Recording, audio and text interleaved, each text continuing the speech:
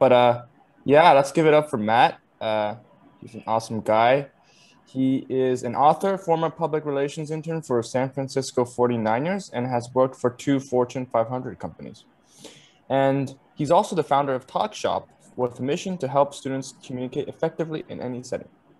So, without further ado, let's give the floor to Matt. Thank you, Hanson, uh, and thank you, Katie, uh, as well and, and Gina. And good morning, everyone. I hope wherever you are, you are staying cool. I see lots of fans on the screens, so I know we're all feeling it. Hey, I want to start with a quick question and just uh, actually, pardon me, I want to start with a quick comment and then I've got a question. My comment is this if you could please just have your video on, which I think is already good, but unmute yourself. The reason is, is I'm going to be asking you guys and girls some questions. So it just helps things move along. If you could just have your your audio uh, ready to go, that would be helpful. But I want to start with this. On a Monday morning, I'm giving you a pop quiz. Who here would like to take a guess?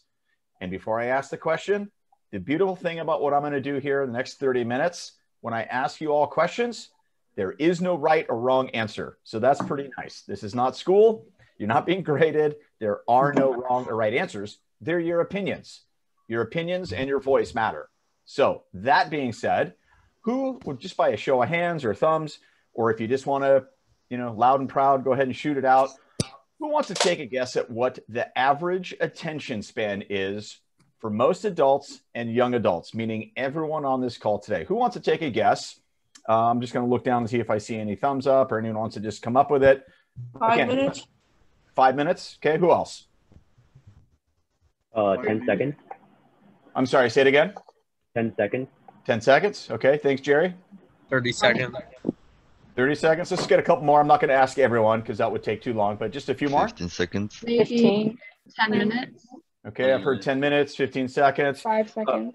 Five seconds. Yep. I'm seeing 30 seconds on the chat. And Hanson or Katie, if there's questions that come up in the chat, would you guys be able to just let me know? Because I probably won't. minutes.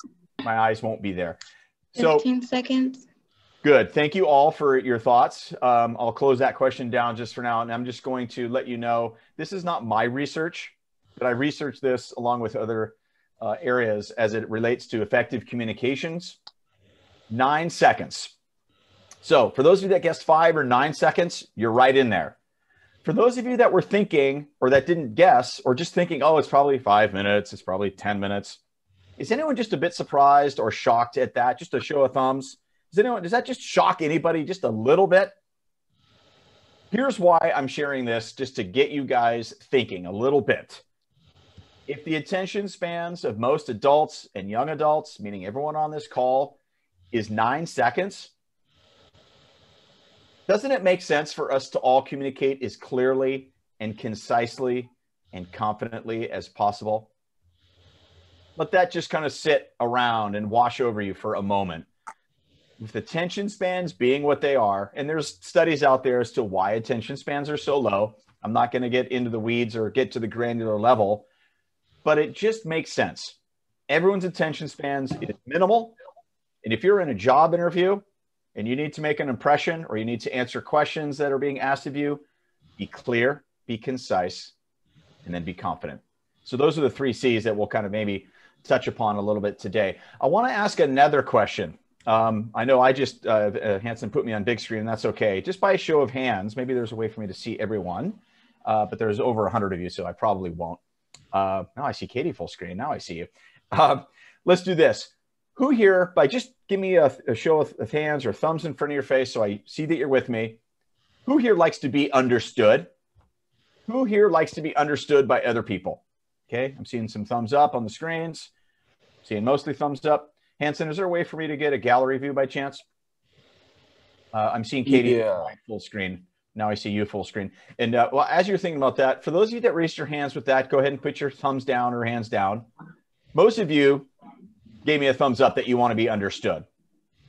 Now, second question to that is who of you, by a show of thumbs or hands up, who likes to be understood, but who likes to understand other people? Again, I asked you first, do you like to be understood? Now I'm asking you, who likes to who likes to understand other people? Okay, I'm seeing, well, from, from those that I can see, I'm seeing mostly thumbs up. So let me ask you, Chloe, can I just ask you to unmute? Well, you're already unmuted. What do you think it takes, just from a high level overview, what do you think it takes to be understood? Um, first of all, I think the other person needs to be willing to listen. So maybe like empathy. And on your end, you need to be like concise and like be clear with what you want. No fair. You probably read my notes, but yes, absolutely. It's all those things. Uh, Jasleen, am I saying your name right? Uh, yeah. Perfect. Um, so Chloe just kind of gave me her thoughts on what does it take to be understood. What do you think it takes to understand other people? Just what's your again? Remember, whoever I ask these questions, remember I said it earlier. There's no right or wrong answer. It's just your opinion. Uh, it's just like Chloe said that you have to be willing to understand because if someone's not open to it, then there's no like nothing's going to get through to them. Okay, absolutely. So let me kind of phrase this a different way. And obviously, I'm making a point with this, so bear with me. I'm going to get to some key points, but I've asked you, all of you, do you'd like to be understood? I've asked you, do you like to understand others? Let me rephrase this in a different way and maybe put more practical words to this. Who uh, wants to take a stab at to take a just either a guess, an educated guess as to what are the two elements of any conversation, regardless whether it's with your friends, your family, if it's at work, in your business meeting that you just came from, what are the two components of any conversation, regardless of the situation or setting? Um, Listening. Hanson, is there a way? I'm sorry if there. I don't mean to hassle you, but I want to be able to see gallery so I can see who's Yeah. talking. Is there a way to do that at all? Because So- uh, whoever and whoever just chimed in, would you mind just uh, saying it again? Because I think it got a little choppy. But go ahead and just repeat yourself, please. Interest. Trust. I think it's empathy also. Say it again. contact. Eye contact. empathy. Empathy. Good. Okay. um, understanding. Respect. Understanding. Good. Respect. I heard. Good. Speaking and listening. All right. Who said that? Hearing. Natasha. Got it. Who else? Uh, Matt, real quick, I think you can change your view if you just go up to the top right where it says view and you click on gallery view. Well, let's just teach a really old dog some new tricks. Ha ha. Thank you, Katie. Mhm. Katie gets the Milky Way prize, whatever the candy bar is that I don't have to hand out today. Um, so good. All of those are absolutely part of the two key elements. Let me just kind of share where I'm going with that. There's two parts of any conversation. And again, regardless of whether it's a business meeting conversation, for example, you all just came from your first business meeting of the week, I believe, uh, or if it's a conversation at home with whatever your family sphere looks like, if it's in a relationship, and when I say relationship, that could be a personal relationship, could be a social relationship, could be a business relationship, any conversation, there's talking and there's listening. Okay, period, the end. Those are the two parts. Now, I'm going to add one other piece to this. Uh, Maria, what do you think? Uh, unmute yourself because I'm going to ask you a question. What do you think of those two pieces, meaning the talking or listening? What do you think we control? Which which element do we control? What's your guess? Um, I think it depends on uh, if you're like giving the message or you're taking the message. Mhm. But normally depend. Well, if I'm giving the message, I'm controlling the talking, right? Absolutely.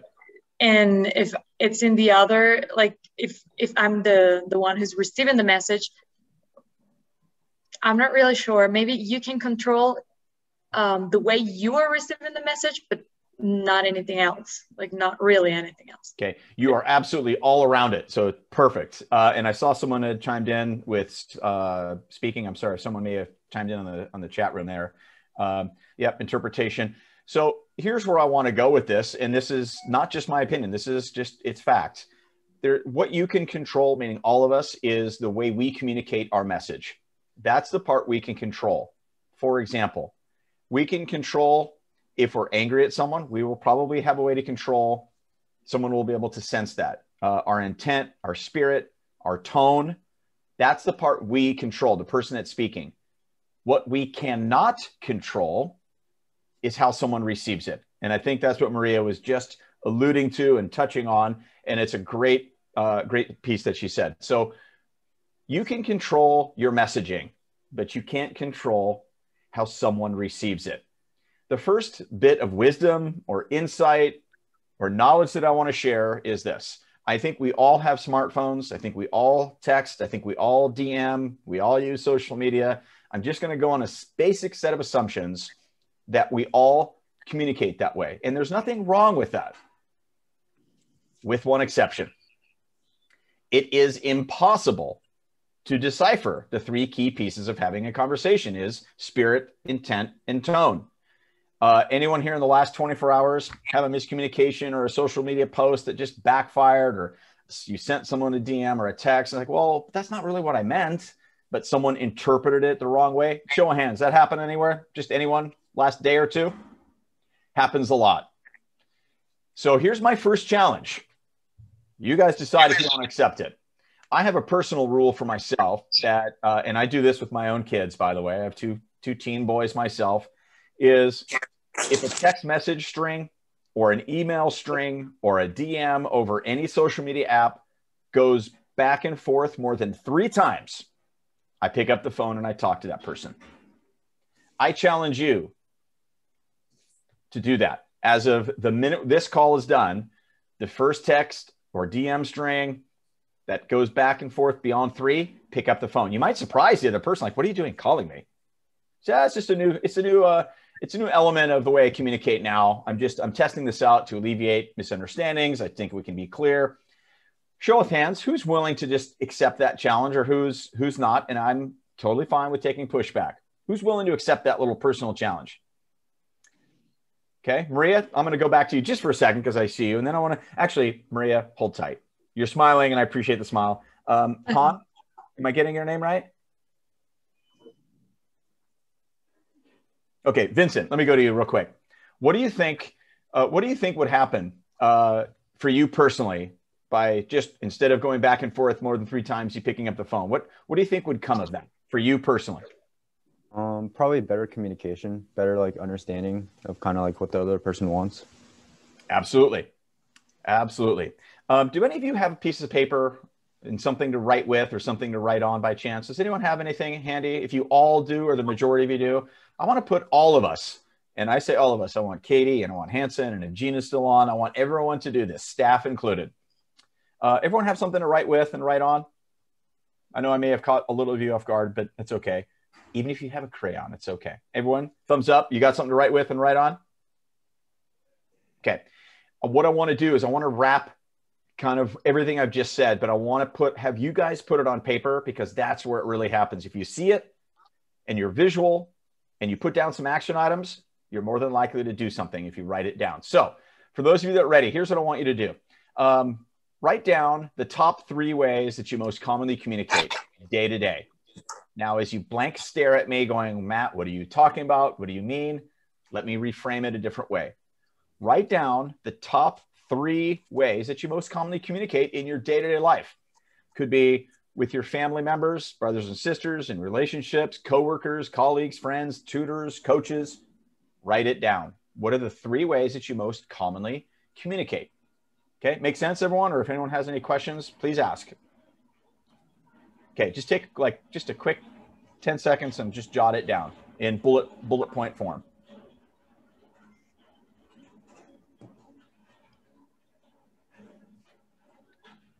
Katie, I'm not sure if there's anyone that's chatting if they don't understand the question. I want to make sure they understand, make sure I'm making sense. Is there anything that's come through? Um, no. Okay, good. Doesn't look like it. Okay, good. So for those of you that are still writing some things down, great. Finish that up. So you just wrote down the top three ways that you currently communicate. The next thing right underneath that is write down for yourself. This isn't for me. Write down for yourself one way you would like to change the way you most commonly communicate. Just write down one way that you would like to change, just personal goal. Write down one way you'd like to change the way you communicate.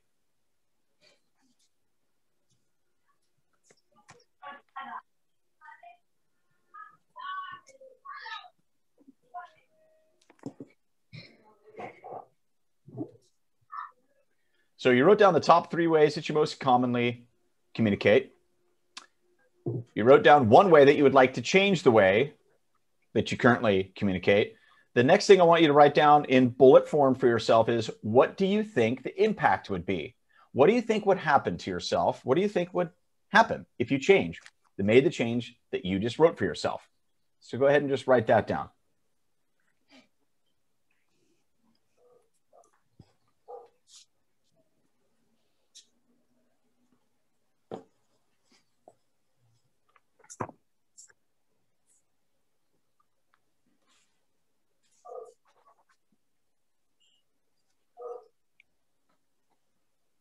Okay, and as you're finishing writing down whatever it is you're, you're writing down, again, I'd just like to review.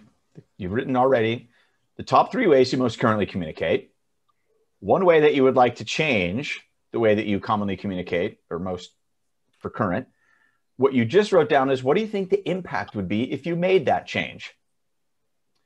And then the last thing I want to have you write down is what's holding you back? What is holding you back from actually making this change? And just be honest with yourself. This is for you. Okay, remember, this is for you. What's holding you back from making the change that you just wrote down for yourself? Go ahead and write that down.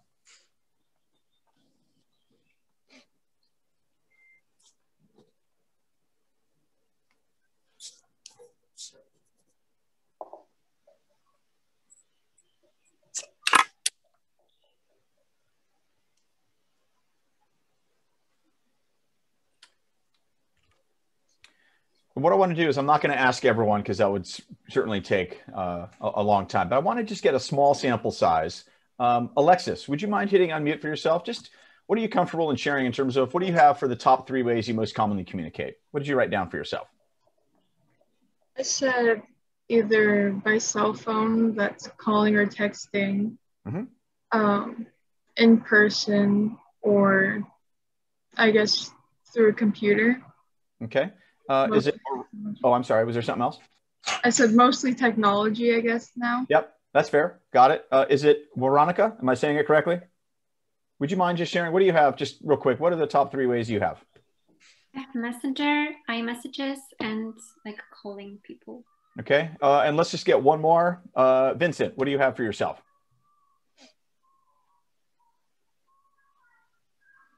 Sorry, um, text, Snapchat, email. Okay. Can I stick with you, Vincent, just for a second? Is it okay? Sure. Um, tell me, what do you have uh, for what did you write down for yourself as far as one way you'd like to change? Uh, I said I want to call people more instead of just like texting them. Okay, and great. Stick with me, Vincent. So you mm-hmm. got you want to call more, uh, and what do you think the impact would be if you made that change for yourself? What do you think? I said I would be more accountable, probably have better communication with people. Got it. And lastly, what's holding you back? Uh, I said being lazy and then also like lack of time.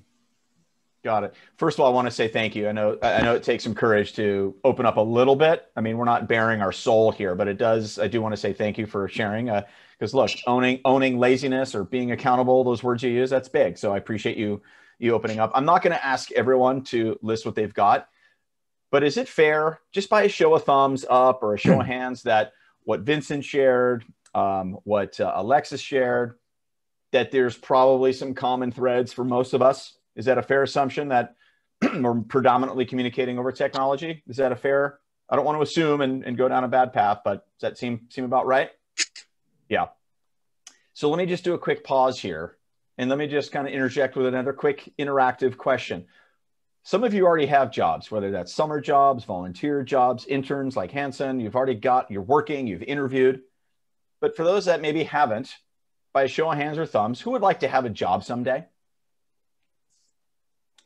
Thank goodness I see all those hands. Go ahead and put your hands down. How about this? Who would like to have a job that they really like? Olivia's giving me a thumbs up and a half smile. Good. All right. And now it's a full smile. Good. Yeah. So it seems like kind of a throwaway line. Well, yeah, Matt, of course we want a job. And of course we want a job that we really like. Well, guess what? What does it take, do you think? Olivia, let me go to you real quick. Am I saying it right? Um, or there's yeah. a. What do you think? Just what's your personal opinion, real quick? What do you think it takes to to get that job that you really want someday? Oh, I um, I guess maybe courage. Uh, okay. You ha- you you must want to uh, do what you like, I guess. Mhm. Um, because I guess it's just the purpose of your um, way of life, um, way of job, maybe. Um, just to find something that you really like and to have the maybe community, um, the place which is comfortable for you. Yep. Yeah. Yeah. Thank you. Thank you for for sharing. Where uh, where I'm going with that, and and Olivia touched on a lot of great things. My piece that I want to focus in on is the communication piece, and I know she mentioned it as as part of her reply.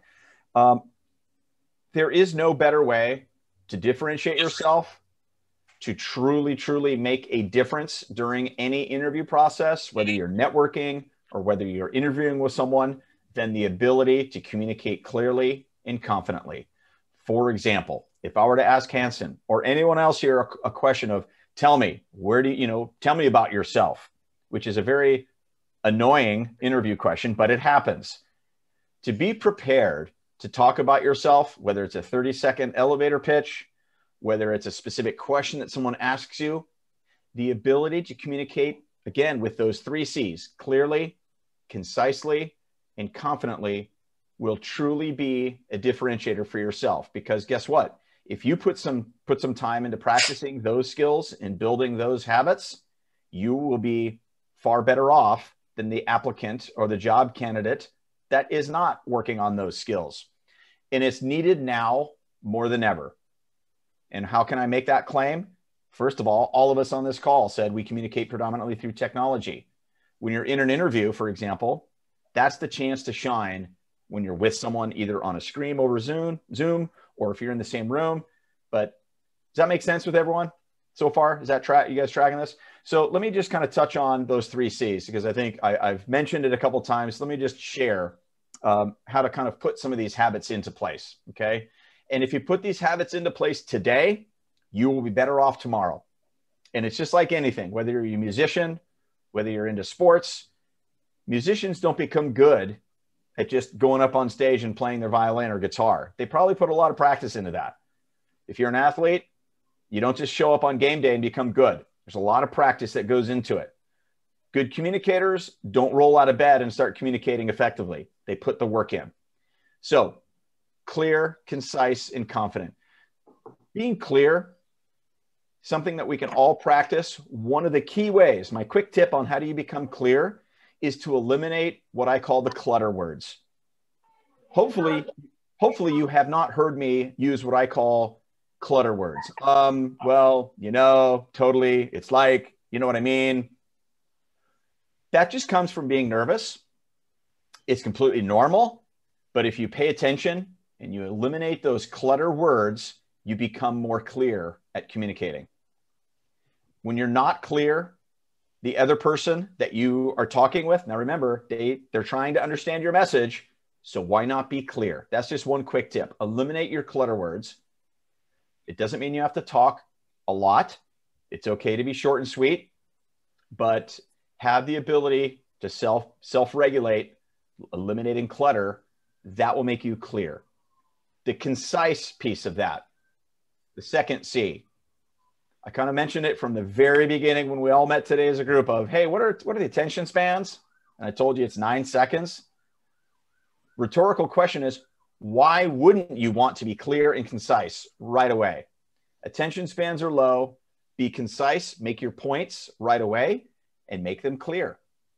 And then the last C is confidence. Confidence comes from practicing. It's the case with anything, whether you're a public speaker, whether you're a chef, you the practice is what's going to make you better at your craft and communicating clearly is a craft building effective communication skills it's it is a it's a habit and it needs to be put into place because you all raise your hands if you want a job i'm using the job as the example but with, during that interview process and when you're meeting with people business executives even if in a business meeting that you guys just came from if you, have the floor and you have the opportunity to make a clear presentation whether you're asking for funding, either asking for a job, put these three C's into place. Keep them in the back of your head at all times, and you will slowly and steadily become a better communicator. And I think you will truly see the difference if you put those in to place. I want to save a few minutes, uh, which is right now, to see if there's any questions at all. And there's no such thing as a bad question. But I want to make sure if there's anyone that wants me to clarify something, if there's anyone that wants me to elaborate on something, I want to give you guys the last three to four minutes to ask any questions that you might have uh, just from anything you may have heard so far. And Katie and Hanson, if there's anything that comes through in chat, please let me know.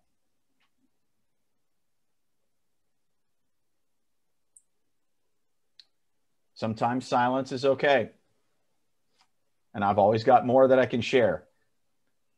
So if there's no other hands, uh, Maria, you know I'm going to pick on you in about two seconds because I just see you right in front of my screen. I will not pick on anyone. Let me just let me just kind of finish with this then. If there's no questions, and look, I do a lot of this. Um, oh, could you please elaborate on how to become confident? Great question. The confidence comes from the practicing. It's like anything. I, I, if you put these elements of becoming eliminating your clutter, which will make you clear, making your points short and sweet, which makes you concise. If you start to put those first two pieces into play, then you become confident. The confidence comes from the practice. And I encourage you all for yourselves, not for me.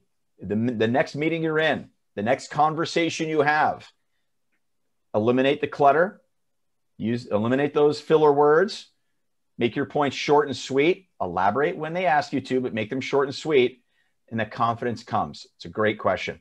Who else has any other questions that came through? How do you think we should prepare for an interview? Uh, I think there's, well, that's a really great question. I'm not sure if I have a whole lot of time uh, for that. But if Katie would allow me, I would be happy to send an email to Katie or to Hanson with some of my personal tips, and maybe she can distribute that out. Um, I would be happy to do that. Another, what's the best way to network? Again, wonderful questions awesome questions, but that takes a little more time than I may have today. Um, maybe if I ask Katie and uh, some others, and I see, I'd be happy at any time to come back and talk about those two elements because how you network and how you communicate who you are and how do you ask good questions and how do you listen really, really instrumental in a job search. So I'm happy to come back at any time. I'm sorry I don't have the time to do that right now. Let me just wrap up with this though, unless there's anything else that's come through is you're probably thinking, why does this matter? You know, what does this mean to me? Why should I, why should I do any of these things? Well, it does matter. You may not think it matters right now, but let me just go back to a question I asked you all earlier is do you want a job someday? Do you want to have a job you really like someday? And you all categorically raised your hands. It should matter because the way you communicate will help you get that job. The way you share your story, the way you articulate who you are and why you would be a good fit for that company the way you can communicate that is going to be far and wide better than handing over someone a piece of paper and saying, Hey, this is my resume. That's why it should matter. So I hope that makes sense. And that's what the, the one thought that I want to leave you with. But if there's any other questions that Hanson, can you help out? Or Katie, if there's any other questions that have come through that I may have missed. Um, but I know that I know that's my time allotment. I want to be respectful to where you guys need to be today. But I appreciate the opportunity to share what I personally believe are really important skills. I hope you'll take it to heart. I hope you'll consider those challenges that I gave you earlier. Read the notes that you took for yourself. They're all right there in black and white or whatever color ink you use. But take ownership of it and be accountable and just put some of those uh, pieces into play. You'll be glad you did. Um, anything else? Any questions that I may have missed? Can I ask you a question? Absolutely. So, um, the socialize is the main thing in our life, I think. And when you're communicating with people, um, and they are dis- disagreeing with you or something, and um, if we need, do we need to stay calm? Like, uh, we should not let our emotions to control our actions.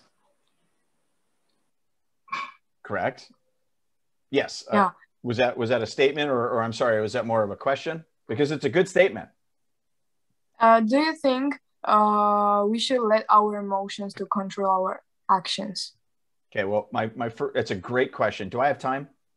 Don't want to make sure. Are we doing okay? Um, sure. This is the last question, guys. Okay, uh, and I appreciate the question. Um, there, when you have a high emotion or what I call a high stake conversation or you have a conflict type of a conversation, I always suggest to always have that conversation in person or at a bare minimum over FaceTime, not over the phone. You want to see that person's face. You want to see their their body language and you want to be able to have the natural give and take that that type of conversation requires. Here's my quick gut reaction to that. And my advice would be if there's a if it gets emotional and you just feel like you are going to uh, not be productive in that in that moment say look you know what? This is a really important topic for me. It's really important topic for you. I feel that i may be better off if we can just have this conversation in one hour from now. That will allow me to be you know get myself a little more calm and i think it'll be better for both of us. That's one suggestion number two is yeah you, the minute the minute one person escalates the other person is going to escalate too and so if it's a high emotional topic, uh, that those are my quick reactions is absolutely need to have it in person. And I'll just add with this, having a high emotion or, or trying to resolve a conflict is not about you winning, or it's not about me winning the conversation. It's about finding a where you can agree. Even if you agree to disagree with someone, you're both understanding that that's where you've landed, and that's okay it's okay to disagree with people. That's human nature. But as long as you both have sorted it out, you've you've spoke your piece, you've allowed the other person to speak and you've listened to them patiently without interrupting and you just say, "Listen, I think we're at a disagreement. We both agree that we're disagreeing. That's okay.